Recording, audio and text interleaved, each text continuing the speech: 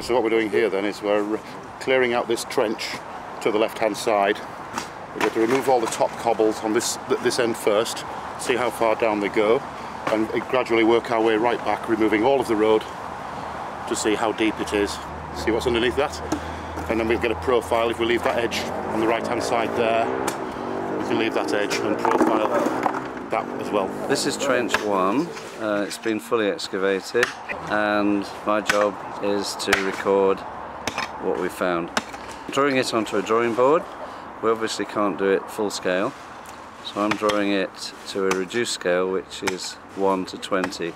I have um, a planning frame which is 1 metre by 1 metre and it's divided into 25 smaller squares. So by looking, placing it on the ground, looking at what is in the first small square I can transfer that onto the drawing board. What I'm doing in drawing this is I would ignore all the clay, all the soil, I would only draw the, the stones and therefore you've got a clear definite picture of what's down there. In other words, we're drawing what we're interested in and leaving out what we're not interested in. Or as I joke myself, uh, anything to get out of digging, you know. So. it's been very interesting, but it has been very hard work. I can say physically hard work, but um, we had success today where we found an unusual line of colour, which means that it could show the difference between the natural and then man-made on top, so that's been quite exciting.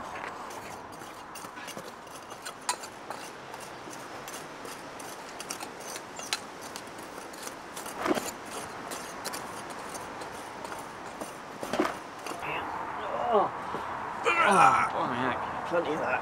Can I have a new slave, please? This one's grunting. this is making horrible noises. I'm sure we have the silent slave. It's next to 2,000 sesterces.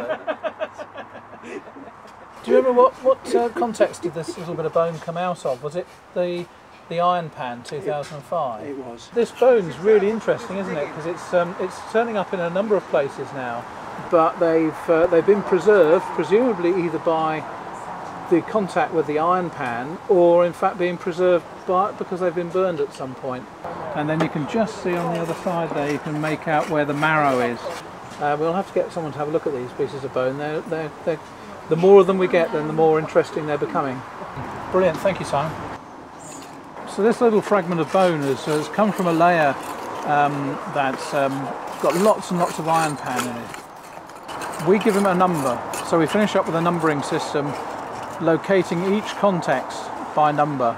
So that, means we can relate the records that I keep with the finds that we've got here, the photographs we take are all related together and 2005 is the layer where most of these little bits of bone are coming from.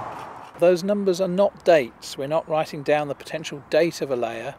What we're doing is giving numbers to layers and that helps us to tie all our records together. So once we've given a number to a particular layer of soil, then that number goes through the whole system. That number finds its way onto finds its way onto cards that go with the fines that sit in trays until they've been washed. Then they go into bags, the numbers written on the bag, the numbers written into ledgers, so we're listing exactly what we've found and where and which and which layer it came from, linked together by the number. We have a context card that tells us all about our observations of that layer. Also, if we take photographs, we make sure that the context number is in the photograph. So these numbers are a vital part of our recording process. In fact, you could say that they're, they're the thread that ties the entire excavation together.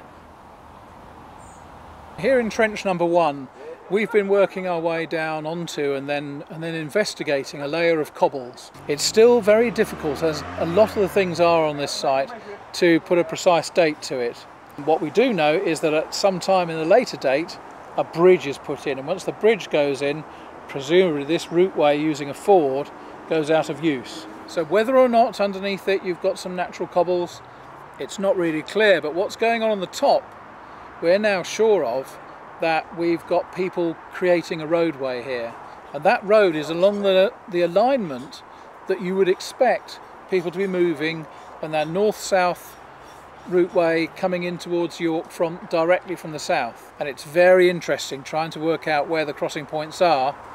And we've added to that, we've added to the evidence for this area now by suggesting that we've got a roadway coming down here and that may well be the fording point that's talked about in the, during the battle in 1066.